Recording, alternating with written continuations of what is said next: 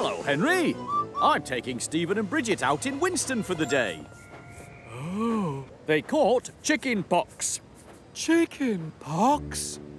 Sorry, Grandfather. Oh, they're itchy. Itchy, scratchy, chicken pox. Oh.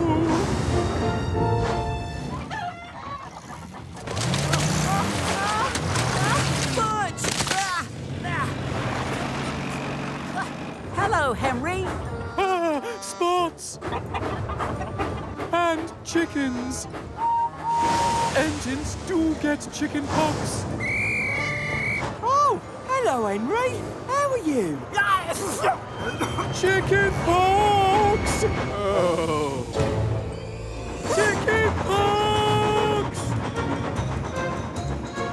Oh, some engines.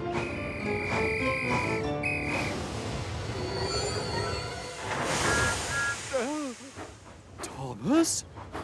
I thought you both had chicken pox. Chicken pox? Engines don't get chicken pox. Oh, even chickens don't get chicken pox. That's right.